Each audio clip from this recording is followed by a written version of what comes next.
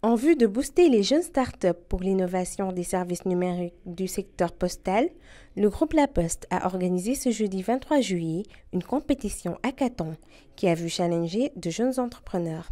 Ces startups ont, à tour de rôle, présenté chacun un projet visant à améliorer les services postaux en proposant des stratégies après avoir identifié les problèmes et besoins des utilisateurs. Cet événement est la preuve que la Poste s'est résolument engagée dans une dynamique de transformation structurelle marquée par une réingénierie de ses processus et par l'érection de la créativité et de l'innovation en valeur cardinale.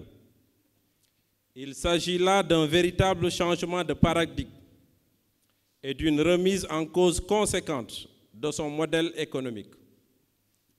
Il reste évident que pour passer ce cap, la Poste doit s'appuyer d'une part sur l'engagement du personnel cadre, technique et de service, et d'autre part sur les opportunités offertes par les technologies de l'information et de la communication. C'est à cette fin que la Poste a lancé cette vaste et ambitieuse campagne de modernisation de ses services, dénommée Post Challenge. Il s'agit d'un programme d'innovation des services publics numériques dédié au secteur postal. L'objectif de cette opération est de travailler avec les startups afin de développer progressivement des solutions prometteuses à partir des problématiques bien identifiées, d'utiliser des méthodes et outils innovants pour produire et délivrer autrement, à différents niveaux de développement, des produits et des solutions innovantes à impact immédiat. À cet effet, une alliance inédite a été nouée avec l'ensemble des acteurs de l'écosystème numérique dans l'optique d'amener la Poste à partager sa culture et son expertise avec les startups dans une synergie d'action pour l'innovation, de diffuser les enjeux et problématiques du secteur postal auprès de ces entreprises, d'aider la Poste à s'approprier les meilleures innovations numériques mises en œuvre par les startups et à réinventer les services postaux en adoptant les méthodes empruntées par les startups. D'offrir aussi aux startups technologiques la bonne combinaison de connaissances, de réseaux et de capitaux afin de les aider à devenir des acteurs de transformation du secteur postal.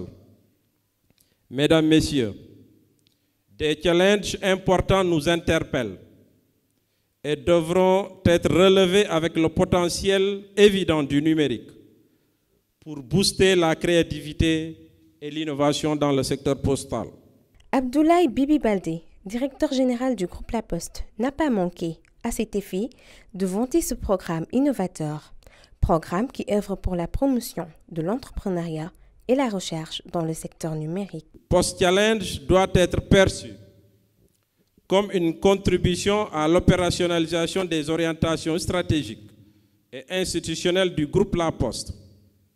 Les résultats attendus devraient permettre notamment de participer davantage au développement de l'inclusion financière, de jouer plus efficacement son rôle d'instrument et de lutte contre la pauvreté, de se doter de plus de moyens de compétitivité nécessaires pour affronter la concurrence, de maintenir et renforcer son dynamisme de modernisation de son outil de production grâce au développement des TIC, combiné avec ses atouts liés à son savoir-faire, mais surtout à la taille de son réseau.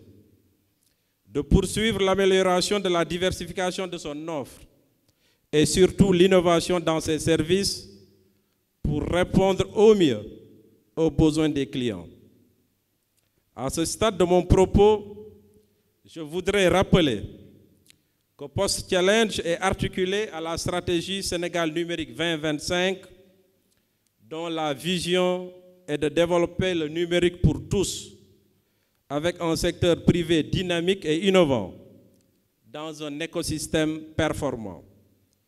Ceci dans une optique de transformation structurelle de l'économie, telle que définie dans le plan Sénégal émergent. Le directeur a réitéré ses encouragements à l'endroit de l'équipe du groupe La Poste, initiateur de ce programme, mais également des startups participantes. Mesdames, Messieurs, vous me permettrez de remercier et féliciter le cabinet Iratic, notre partenaire dans ce programme, pour son professionnalisme et pour l'approche participative qui a été adoptée et qui a permis aujourd'hui d'aboutir à cette cérémonie qui laisse présager assurément des lendemains qui chantent. Je voudrais également saluer le travail du comité technique de digitalisation et féliciter par là le secrétaire général et louer l'engagement et le dynamisme de ses membres qui n'ont ménagé aucun effort pour la réussite de ce programme. J'associe à ces remerciements tous les acteurs qui ont contribué à la réussite de cette journée. Je ne saurais terminer sans féliciter les startups vainqueurs et encourager tous les candidats qui ont participé à cette première édition du programme Post Challenge, qui désormais est inscrit dans l'agenda du secteur postal et sera par conséquent doté de toutes les ressources nécessaires. Monsieur le directeur général de l'ARTP, je voudrais vous féliciter pour, cette, pour cet accompagnement. Pour cette édition de Post Challenge, sachez que chacune des startups retenues bénéficiera d'un paquet d'accompagnement global d'une valeur de 4 millions de francs CFA, sans l'ajout peut-être de la RTP qui a promis d'en rajouter. C'est bien ça ma compréhension? D'accord. Donc d'un accompagnement global d'une valeur de 4 millions de francs CFA, dont une partie sous forme de subvention financière et une partie en accompagnement technique et managérial sous forme d'incubation, de formation, de coaching et de mentorat. En outre, les trois meilleures startups parmi ceux non retenus, pour, parce que c'est une recommandation forte à laquelle nous avons accédé, pourraient éventuellement bénéficier d'un accompagnement sous forme de stage rémunéré à la poste ou sous toute autre forme à convenir afin de permettre l'aboutissement de leur projet. Vive le programme Post Challenge, vive le groupe La Poste. Rendez-vous certainement à l'année prochaine pour la deuxième édition, accompagnée de l'ARTP ou très prochainement avec l'ARTP.